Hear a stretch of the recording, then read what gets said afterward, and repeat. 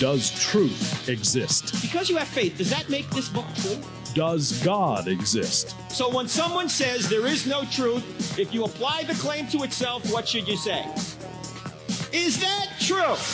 They don't think Christianity's true. They're talked out of it. You know why they're talked out of it? Because they've never been talked into it. Cross examining skeptical and atheistic views. Welcome to Cross Examine with Dr. Frank Turek. Well, it's not Dr. Frank Turek, but it is J. Warner Wallace sitting in for Dr. Frank Turek. I'm not a doctor, I'm just a detective, and I'm hoping to help you today process some stuff that I think has become incredibly pressing in culture. I've been talking with Frank about this, and so uh, if you're like me, you've probably gotten uh, someone sent you at some point in the last week um, a video or an article that describes a large overarching conspiracy involving the pandemic, involving our response to the pandemic, any number of things. Uh, I certainly have gotten my share. And so Frank and I started talking about this because when it comes to conspiracies, this is something that I might be able to help you with only because um, I get to work conspiracies for a living and have uh, investigated a number of conspiracies and has, have successfully filed these with the DA and have even been able to prosecute those successfully. So I, I'm just going to try to give you some insight into the nature of conspiracies and what my response typically is when somebody sends me one of these videos. Now, now look, uh, in my position, like Frank, I'm online a lot, and I get sent these videos by a number of people who either read my books or have followed me on the website, uh, listen to the podcast, whatever. And they will call and or, or, write to me and say, "Hey, Jim, what do you think of of this thing?" Um, so what I'm going to do from now, I'm going to try today in this uh, show to give you the most complete response I can give you uh, for, with principles that I, I, hope you will keep in mind when you're evaluating these conspiracy theories. And, and I'm going to point people to this uh, radio show in the future, both when they write to me or if I want to respond. I'm just going to point people to this list of responses, this list of, of principles, because I think this will be the most complete grouping of these principles. And we got a lot to cover today. But I think when we get done, you will also hopefully find this useful and be able to point others to these principles, or at least keep them in mind when you are uh, sent a video or an article claiming that there's a large uh, overarching conspiracy theory or conspiracy occurring. So uh, let's just jump right into this. I'm going to give you uh, my responses to these based on my investigative experience working these kinds of cases. And how this started when I got the first email from somebody who said, Hey, what do you make of this video? Well, it, you've probably seen the different videos that are out there. Uh, as a matter of fact, there's an article online at um, Get Religion uh, which is at getreligion.org. It's uh, this week, in which it's a few days ago, in which it's entitled Plandemic News at All Why do so many religious believers quickly embrace conspiracies? That's a very interesting question, which we're not going to address. It. I'll, I'll, I'll, address it just a little bit at the very end, but but it's a really interesting question. And, and it's it, his uh, uh, the article is basically written by a, a, woman named Julia Duin, who observes that most of the people who advance these kinds of things to her are amongst her more religious, conservative, religious friends online. Why is it? She's just making this observation anecdotally, but then she be it's the premise then for her article. Uh, why do so many religious believers quickly embrace conspiracies? Let me give you some principles that'll help you think think clearly about this so that you may uh, be more reasonable in your response. So here's the first principle. Principle number one write it down if it's helpful. There is a difference between what is possible and what is reasonable.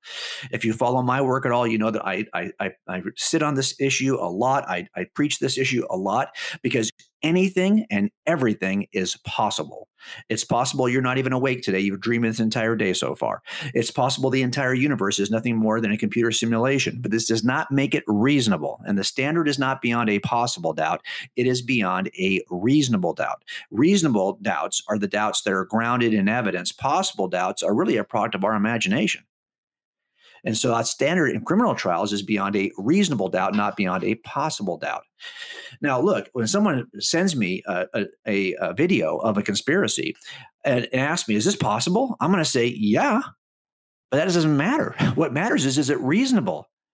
And by the way, you're only going to discover if something is reasonable rather than just possible by digging through the evidence as thoroughly as you can. Now, I'll tell you, this is going to be an overarching theme as I talk to you today about this. This requires some effort on our part to determine if this claim, whatever the claim may be, is simply in the realm of possible or if it's based on enough evidence to rise to the level of reasonable. Now, I want to tell you something else later on in my set of principles, and that is that you have to own the investigative process. You cannot trust others to tell you what the evidence means.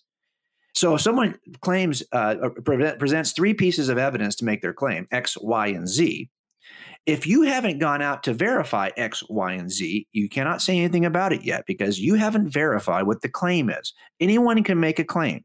All claims are possible, not all are reasonable. Here's my first point of advice to you stop posting stuff that's in the possible category. Only post stuff that's in the reasonable category. And by the way, you'd have to do a pretty decent investigation on your own before you could ever move something from possible to reasonable. That means that when someone sends you something and you go, wow, and 15 seconds later you're posting it on Twitter or Instagram or Facebook, you haven't done any of the work that has moved it from possible to reasonable. Don't post possibles, only post investigated reasonables. And that means that's going to slow you down quite a bit because until you've done that work, you can't be posting. I want you to stop posting anything you haven't personally vetted. So if someone's being interviewed on a video, uh, have you investigated who that person is who's being interviewed? Have, have you done as much research as you can online to dis- discover what is the personal history of that person being interviewed? Have you done as much research as you can to see who was the person doing the interview? Uh, if you have it, you can't post it. It's that's only in the possible range. It's not in the reasonable range yet. You haven't even discovered if it's evidentially reasonable yet. I was watching one of these videos, and I'm watching some some B-roll. Some some they're talking about an arrest that was made, and they're showing a SWAT team making an arrest. To the best of my knowledge, that is not from the actual arrest. That is a SWAT team making an arrest at a different location. They grabbed it as what we call B roll. It's just there to explain as you're talking, but it's not evidence. It's not actually a video from the actual event, as far as I can tell. If that's the case, I'm already suspicious. I just want you to take the time. Have you chased down every claim? If, if they've got a, a, video, for example, they're citing some newsreel. Have they edited the newsreel? Have you gone back and found the entire newsreel so you can source it? If you haven't sourced this stuff personally, why would you share it with anybody? I think we've got to be very careful. That's the first principle. Understand the difference between possible and reasonable. One real quick uh, second principle before we move to a break. And that is that remember, there are only three motives for any misbehavior, only three motives sex, money, power. That's it. There's no fourth motive. I've worked mm, uh, enough homicides, burglaries, robberies, sex crimes, uh, larceny, whatever it is. I've worked those cases. They're only driven by three motives. There are only three motives for any sin, only three motives for any misbehavior. It's sexual uh, desire, it's uh, financial greed, and the pursuit of power. If somebody seeks has something to gain in one of those three areas, I think it's fair for you to be suspicious. If you don't have anything to gain in those three areas, then that's different. This is why I trust what the apostles were telling me about Jesus. They had nothing to gain in those three areas, and it cost them their lives. I, am actually uh, feel much more confident about them. But if someone has to gain as by producing a video, financial gain, or by making a claim because look all of us are authors aren't we just trying to advance the cause of our books? Or is it a matter of having a huge response? How many times do these conspiracy theories get uh, uh, shared online? That's a power issue. That's a that authority power fame those are all things that are nuanced versions of the pursuit of power. So before you start sharing things ask yourself oh, boy does the person who posted who actually created this thing see have anything to gain in those three areas. If they have i might want to pause before i just bite and just assume what they're saying is true. First principle difference between possible and reasonable. The second principle understand what drives misbehavior. And if you think there's a lane that somebody might gain hesitate before you share it. We'll come back. I'll give you a couple more principles that'll help you uh, to evaluate these conspiracy theories in light of the pandemic. I'll be right back here at Cross Examine Radio. Friends, can you help me with something? Can you go up to iTunes or wherever you listen to this podcast and give us a five star review. Why? It will help more people see this podcast and therefore then hear it. So if you could help us out there, I'd greatly appreciate it.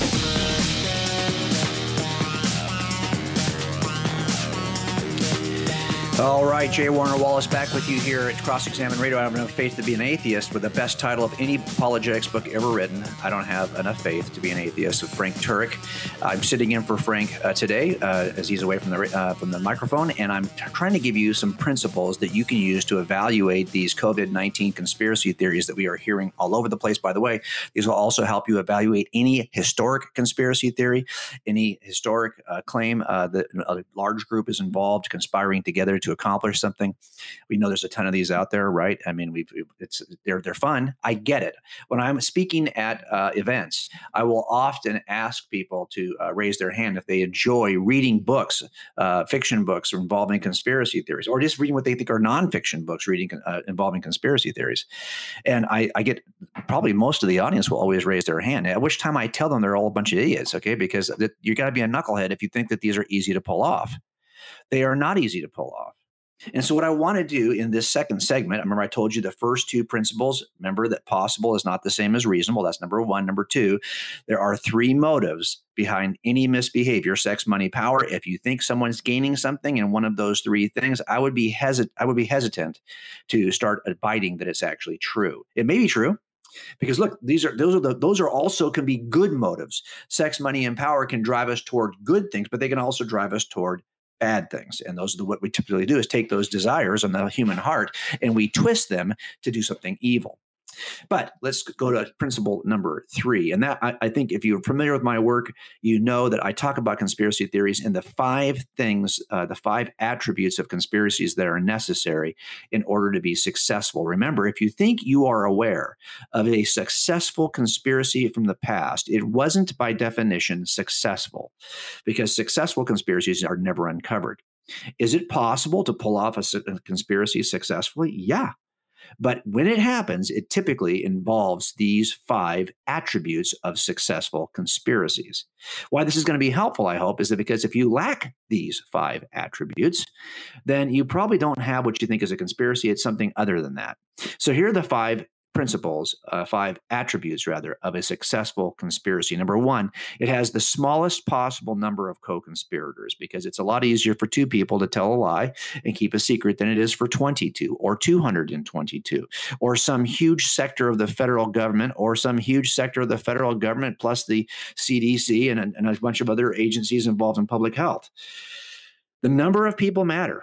And if the smaller number of people the more successful you're going to be. It's just human nature right? Especially when we are in an information age in which everyone has access to global platforms. It's one thing to keep a conspiracy 35 years ago when if you didn't have access to print media or to the news media you couldn't even get your story out. But now anyone can get the story out.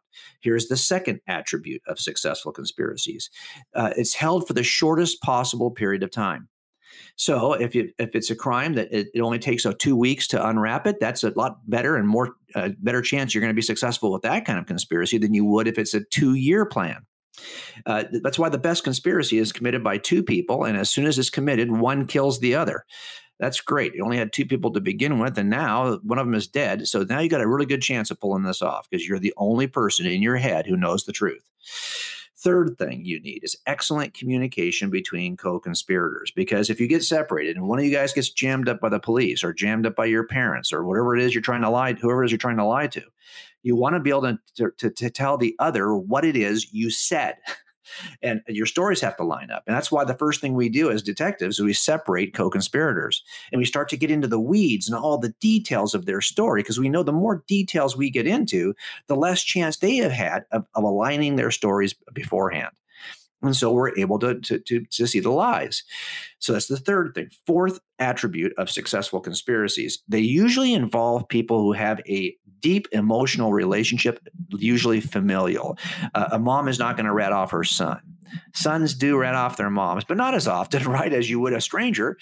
And so if you've got deep uh, relationships, uh, with each other, then there's a good chance you will not uh, rat on each other. Uh, so that's the the fourth principle. The last principle is try to avoid pressure altogether. If no one's asking questions, if it's not pub, so public, if it's in this little niche category of culture where no one's, or in your neighborhood, or a little niche in your city where no one's really paying attention over there, you got a good chance of pulling off a conspiracy. So, this is why, for example, those five things, uh, knowing that's how I work conspiracy, is all you do as an investigator is you unwrap, you unwind those five things. If somebody has three of them in their pocket, a group has three that they've mastered, you try to work the other two. But what you're trying to do is you're trying to unwind those five attributes of a successful conspiracy so it can be exposed. That's one of the reasons why when I first encountered the claim, or I knew that I had this claim in my head for a lot of years as an atheist, that, that the story of the resurrection was nothing more than a conspiracy on the part of the disciples when you realize how big that group actually is, Paul says there are 500 in, in uh, Acts 15 that were still, most of them were still alive that had seen the risen Christ. There's 120 in the upper room when they replaced Judas. Look, there's too many people involved. They have to hold it for too long. They can't communicate back and forth. They're not all family members, and they're under intense persecution. Uh, I just don't. This is is it possible? I always say it's possible. Anything and everything is possible. But like I said before, it's not reasonable. And so I just don't think you can hold to that theory of, of the resurrection as being nothing more than a lie, a conspiratorial lie. The same thing, though, happens here. If you think it's going to involve vast sectors of the government for many years to make this successful, and and that in the end, uh, it, and it, by the way, you're doing it in the most public of stages. Uh, yeah, okay, it's possible, uh, you know, but evaluate it and ask yourself the question: are the five attributes of a successful conspiracy available for this? Now, that's my third principle. Understand the five attributes of successful conspiracies. But let me give you a fourth principle that's kind of related, and that is that time is your friend when you're working conspiracies, right? Because remember, the second attribute is that the shorter the, the conspiracy is being held, uh, the, the, the more likely it is to be successful. That's why when I work, I worked cold cases for most of my career. Those are just unsolved murders uh, from the past. If you're not familiar with my work, you can. I, have been on Dateline more than any other detective in the country, so you can see some of my work. You can find more of it at coldcasechristianity.com. But my point is, I learned early on as a cold case detective that time can help you you might think, oh, well, that's actually hurt you, right? You got a 30 year old homicide. It, the more time that goes by, the harder it is to work. Well, in some sense, that's true. But here's what's great about it. Uh, time could be your friend in the sense that maybe somebody didn't want to talk 30 years ago because they were married to the suspect or they were married to the suspect's best friend. But now, 30 years later, they're no longer married to that person and they're actually willing to tell you more than they were willing to tell you 30 years ago. Time can actually produce some distance between some. Some people are more willing to talk as a result of time. As a matter of fact, one of the things I do when I work investigations of cold cases is I ask myself the question okay, where in this investigation can time help me? I know it's already hurting me in, in just the, the, age of the thing, but how can it help me? And sometimes it's just a matter of technology, right? Like you have technology available to you 30 years later that you didn't have 30 years ago. But time can be your friend. And when it comes to conspiracy theories that you're considering and people are sending to you on social media, remember that time is your friend. Even if this thing they're suggesting is true, well, time will tell us if it's true. Because the more now that this thing is out there, because now it's very public, it's going to end up getting vetted by whoever wants to vet it, all the truth is going to come out over time. Why would you or I uh, post this in, in, five minutes after reading it when we know that uh, really the wiser thing to do is to let time do what it does to investigations. Time is our friend. Let's just pause on this. We have to be patient. Okay. I get that we're in an immediate culture. Everything, the biggest change I see in our culture today is not the access to information, it's that it's on demand, it's immediate. But you don't have to do that when it comes to conspiracy theories. You can wait. Time is your friend. Let me give you a fifth principle that's kind of related to the first two in this segment here the five uh, attributes of successful conspiracies, and also the fact that time is your friend. And that is that any early, early proclamation or decision or verdict you make on one of these ruins your credibility pretty much forever. I, I, this happened to me. I, I, was telling Frank about this, where where I, had a case where I was on an investigative team. I was the, my very first homicide. That my team was so much more senior to me that the senior guy on my on my team was 15 years more senior in, on the job than I was. That's a big gap in experience. And I remember walking in, looking at the evidence in the crime scene. A half an hour, an hour into it, I said, "Man, I, I think it's going to be X," and I gave my decision on, on my my my prospect on who the suspect ought to be. I was flat out wrong. It took about another week or two for us to unwrap how wrong I was. But do you think that my team, four other investigators and a sergeant, ever let me forget that? Uh, no. As a matter of fact, I didn't gain credibility, regain credibility on my team until all those guys had retired off the team. And I had a, I was then the senior guy on the team. There was nobody left who remembered what an idiot I was in proclaiming within a half an hour that I thought I knew who the suspect was.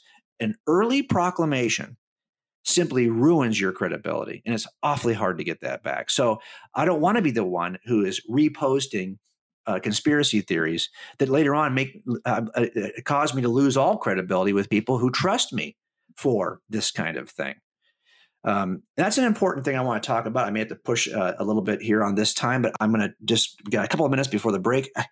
Trusted authority is key in the information age. And one of the reasons why we're struggling right now is because we don't know who to trust. All information has been weaponized, it's been politicized. So if someone says to you that their goal is to, uh, let's say, open the country, you assume that they're on the right and don't care about people and all they care about is money. And if someone says to you, you need to wear your mask and stay locked in, you assume they're on the left and all they care is about allowing the government to control them. Really, look, it's possible that we could be better motive, uh, motivated than that. We could have better motives than that, but we don't trust each other. We don't trust any authority on either side. Okay, I understand why you might not trust authority. Well, then now is the time to slow things down and do your own investigation, to be patient, not to open your mouth too, too early. Because why would you trust I get it. I understand why. And this is also true for Gen Z. This generation that's growing up with this technology don't even know which of these websites, all of which look equally authoritative, which should we trust? Well, the skeptic in me as a detective says trust no one until you have done your homework. And that takes time. And if you can't land it with your own homework, then you can't talk about it. So I just back off.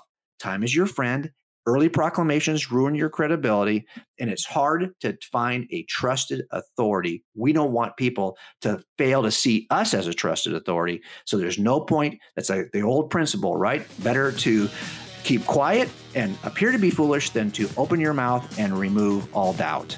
So let's just keep those principles in mind. We'll take a break. When I come back, I'll give you another set of principles I think will really help you to evaluate these conspiracy theories right here at Cross Examined Radio. Friends, Frank Turek here. I Don't Have Enough Faith to Be an Atheist is a listener supported radio program and podcast. So if you like what you hear here, would you consider donating to crossexamined.org? 100% of your donations go to ministry, 0% to buildings. We're completely virtual. So if you can help us out, we greatly appreciate it. Thank you so much.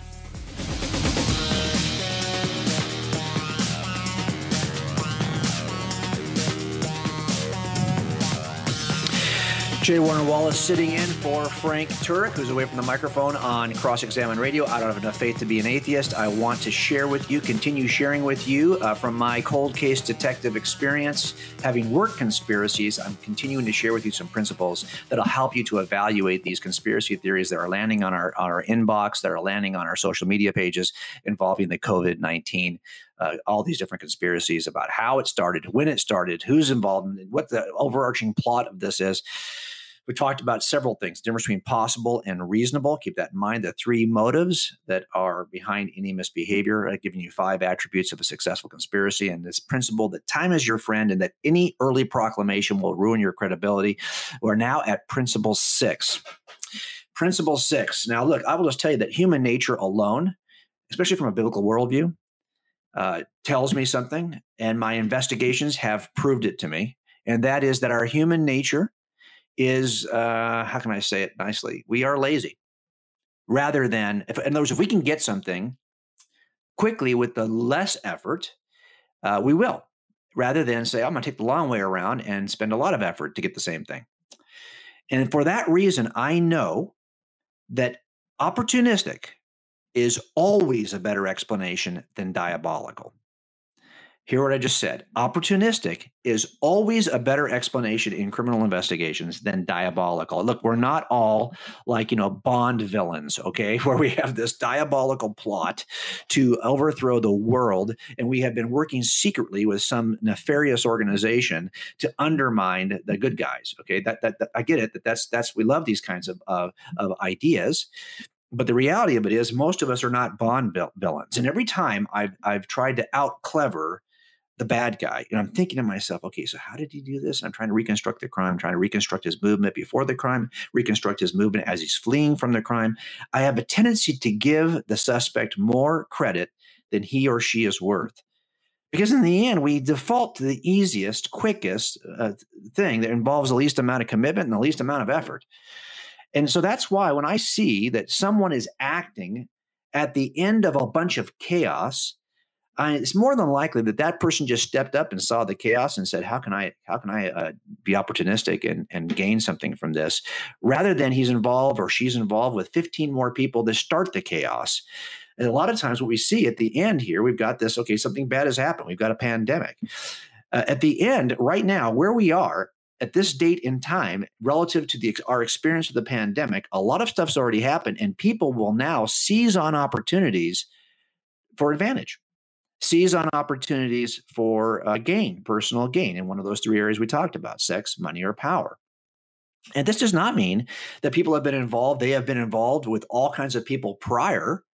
Okay. This does not mean that because uh, what more than likely what simply happened is that somebody is taking an opportunity to gain something um, at the end of a bunch of chaos. The simpler explanation is always better than the complex explanation. Does that make sense?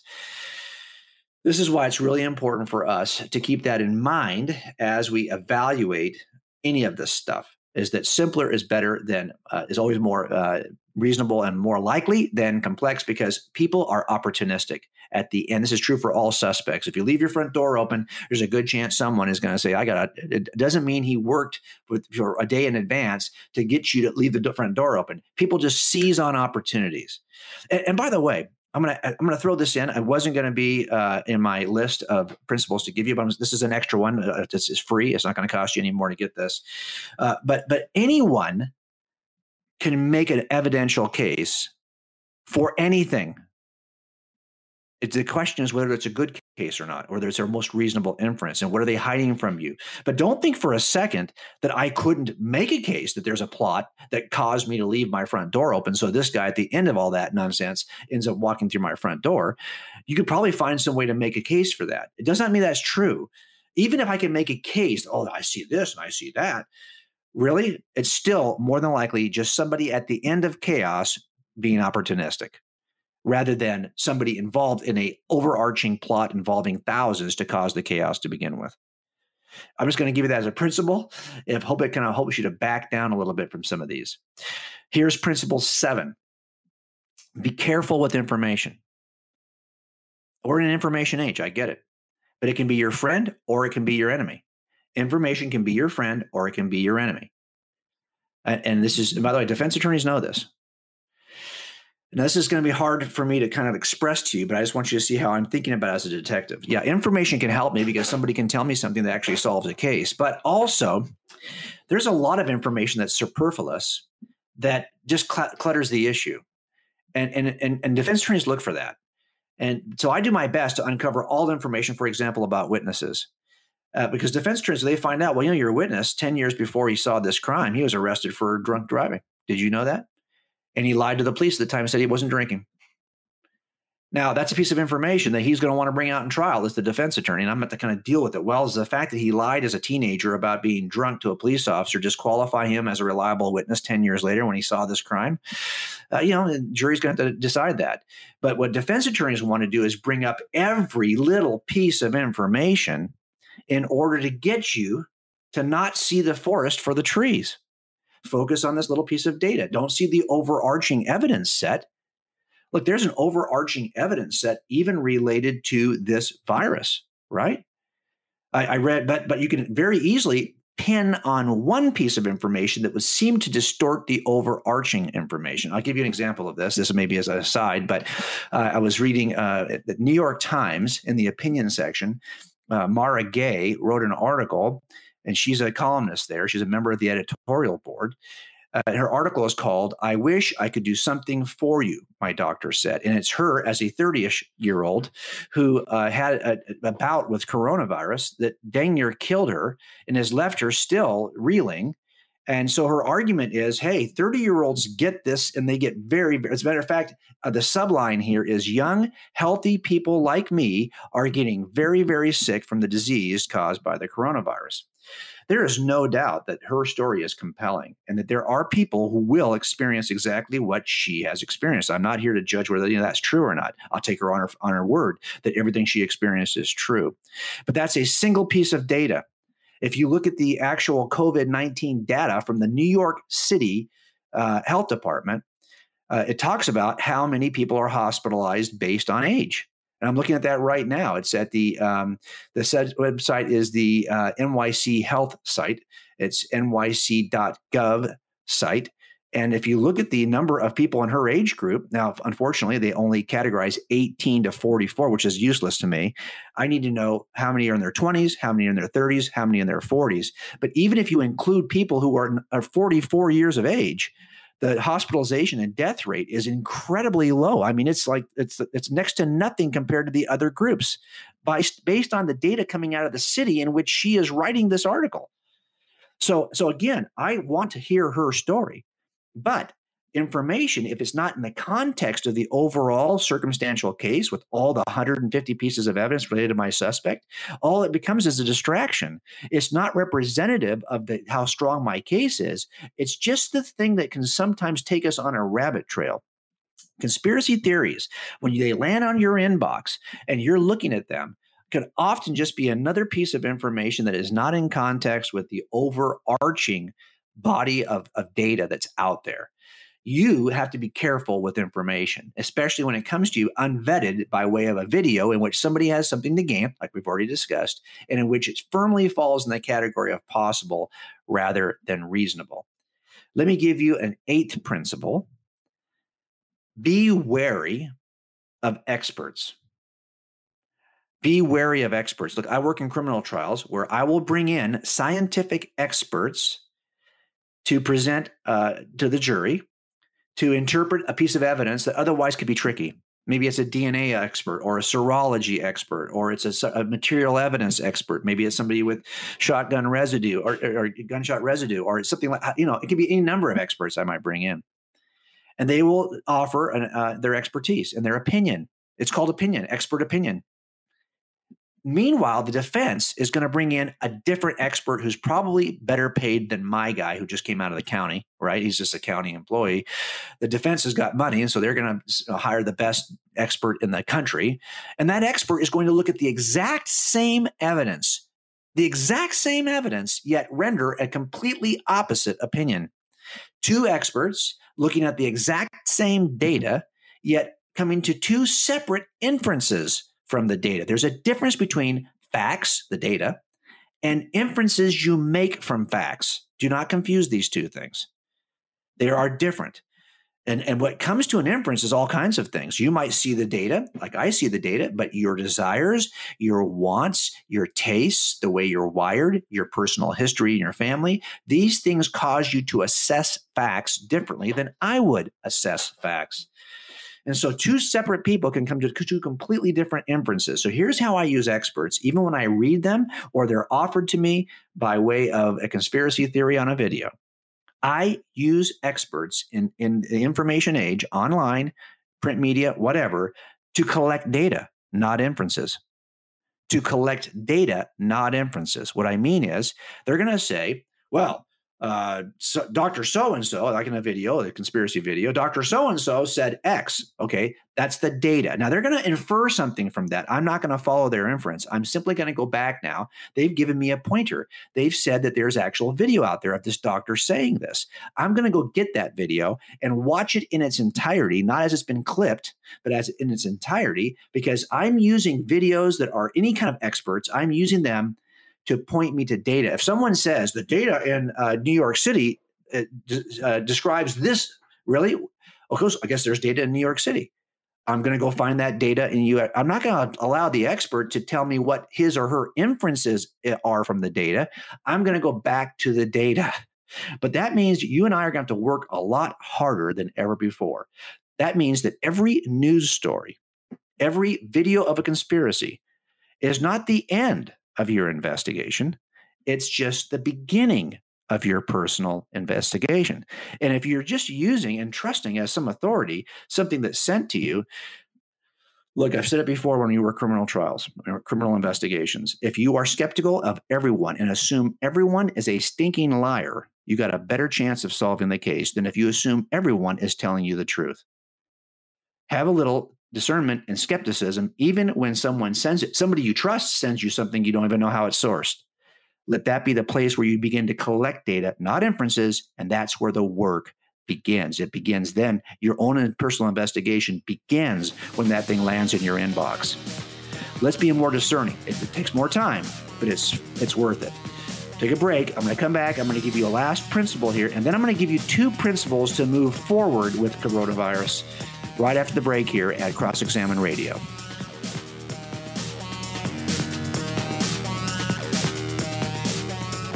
Hi, friends. Frank Turek. You can only have two things either you can have hope or you can have despair. Every day during this coronavirus season at 11:30 a.m. Eastern Time, 10:30 Central, we will be live online with a new live stream called Hope One. It's at crossexamined.org. Go to crossexamined.org and we're going to give you hope every weekday Monday through Friday, 11:30 Eastern, 10:30 Central. I hope you can join me.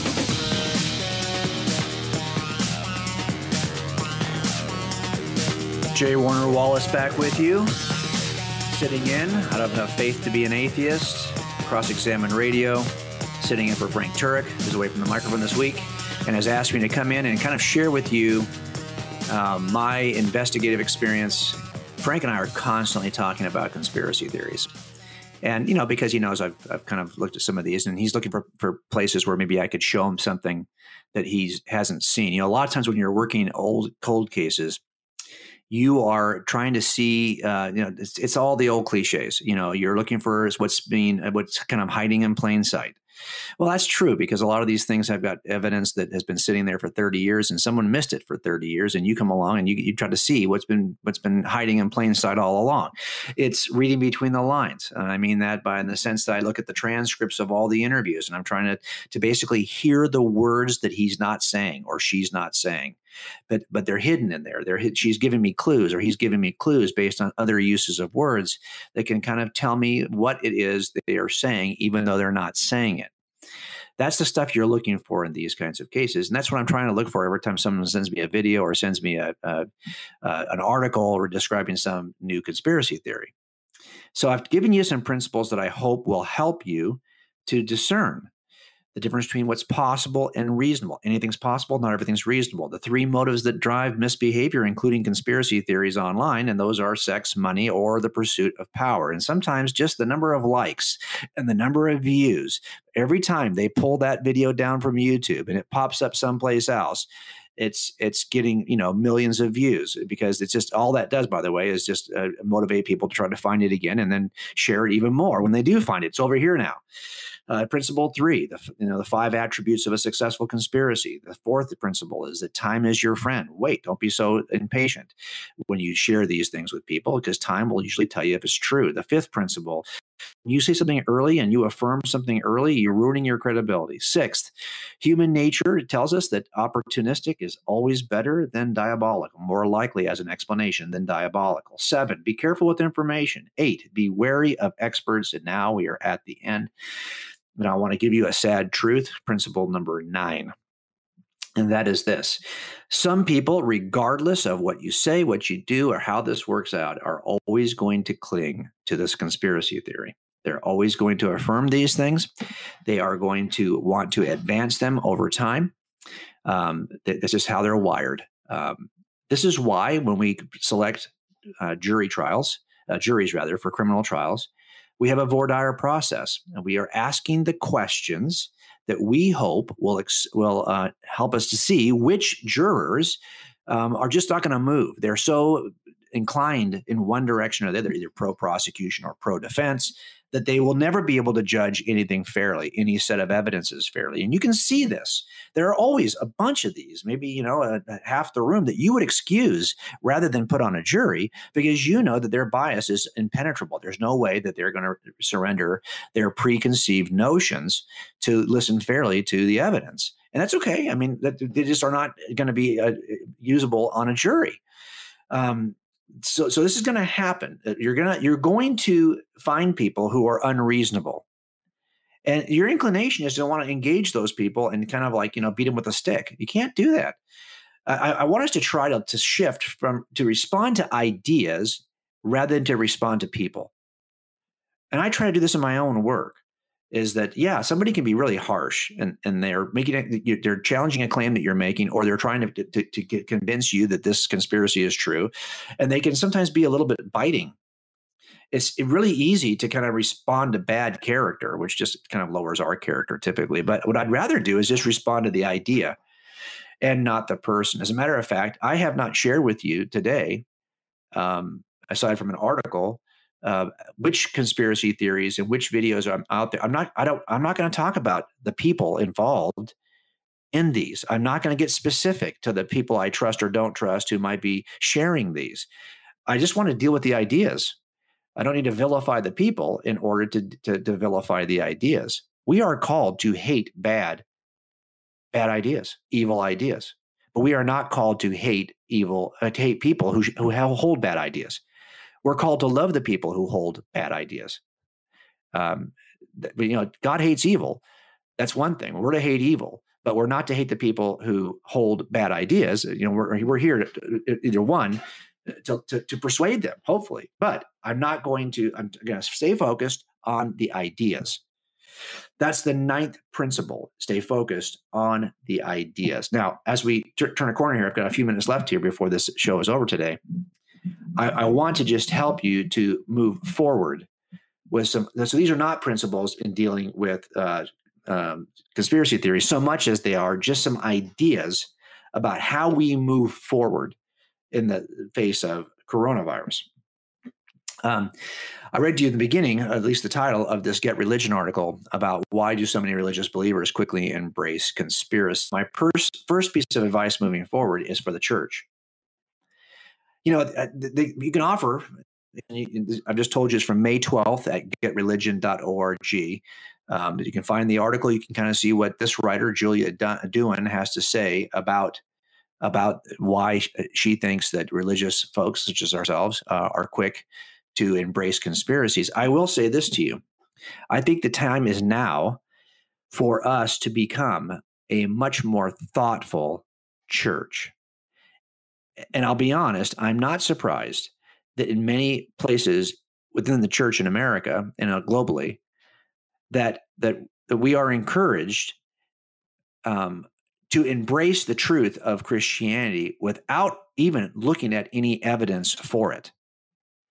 Um, that we, uh, I was struck not too long ago by Peter Boghossian, who is a philosopher out of I think University of, or- of, of Portland, uh, who wrote a book on, on to, to, to, to, persuade to help people to deconvert Christians back to, to, to atheism if they weren't there before, to atheism if they were back to atheism. And he argued that you don't need to share evidence with Christians because Christians don't make decisions based on evidence. They usually make decisions based on personal experience. You need instead to help them understand why it's important to not make decisions based on emotion or experience, but to make decisions based on evidence. Well, I actually think as a Christian, that's how I made my decision about Jesus. I made my decision based on the evidence. I'm one of those few people you might meet who can actually tell you that was the evidence for Christianity that persuaded me to even look seriously at what the Bible said about me, let alone Jesus. But I will tell you that if, if we if we aren't the kind of church, the kind of group, and uh, every church is different, so you'll to speak for your own church. If we aren't the kind of group that assesses evidence to make decisions, even about God, even about Christianity, then why would you expect us to be the kind of group that assesses things evidentially when they're presented to us? I think we could create a culture within the church in which we actually do assess facts to make decisions. And that's what we have to do here is to assess facts to make decisions. But I don't know that we have a culture in the church that makes that a high priority. And when I ask people around the country, why are you a Christian? The most popular answer is because I was raised in the church. The second most popular answer is because I had an experience that demonstrated for me that Christianity is true. A prayer was answered. I had an experience of the Holy Spirit, something that's experiential, often emotional, that confirmed for them that Christianity is true. By the way, those are the same two reasons why my Mormon family says they're Mormon. They had an experience of the Holy Spirit that confirmed for them that Joseph Smith was a prophet of God, the Book of Mormon is true, or they were just raised in a ward that's all they've ever known. You don't believe those two answers make Mormonism true. Why would you believe those two answers will make Christianity true? They don't.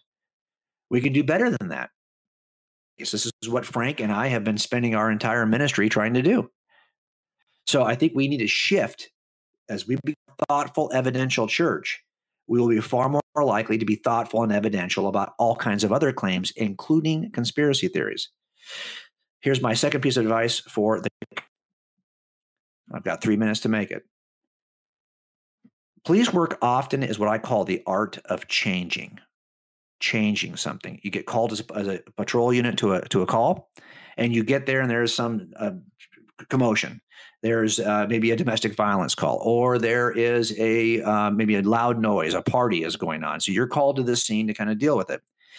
I tell trainees, trainees need to know this as you're training as a police officer. We get there. Our goal is to change something so that we won't get called to come back here in 15 minutes. If we don't change anything, we just come and say, oh, that's nice. And we walk away. Guess what? Something bad's going to happen. We're going to get called back in 15 minutes. Instead, what we're going to go is look at, get, so we're going to land there. We're going to say, okay, what's going on? What is the one or two things I can change that will solve the problem so I'm not called back here in 30 minutes? Maybe somebody needs to go to jail. Maybe it's just some advice needs to be given, and if it's listened to, you're good. Something's got to change, though, in that mess, that chaos, or you're going to get called back. Look, same thing is happening here. We've got a situation facing us as a country. So if we don't change anything, and we saw that, right? So we locked things down. We locked down to slow the growth of the curve, to flatten the curve. Now, what we hope is that we now have something either in our way of thinking with how many respirators and masks we have available. We have changed something so that now we can reopen and we won't be called back in 30 minutes with the same. If we don't think, then yeah, it's going to repeat itself. And I do think that some of the things that have changed for us are simply going to be that we now understand what social distancing and masks are going to do, how we're going to have to reopen, how careful, more careful we're going to have to be about contagion. And I hope that we have, as a country, ramped up our use of uh, our, our availability of masks and respirators. So we have changed something. So now we can actually leave the call and they're not going to call us again in 15 minutes. That is the goal. It's the art of change. Can you change something? So as I look forward, I got to ask, okay, uh, do you think we've changed enough so that we I'm not going to get into that debate. That's something you probably can talk about here with Frank in the future. But I just want you to know that responding to a crisis is like responding to a call. It's all about the art of change.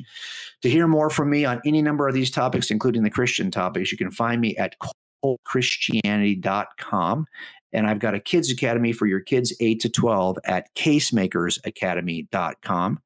So I hope these nine principles will help you to better evaluate conspiracy theories when people actually introduce you to them online. Let's be patient. Let's take our time. Let's consider motive. Let's be wise and thoughtful.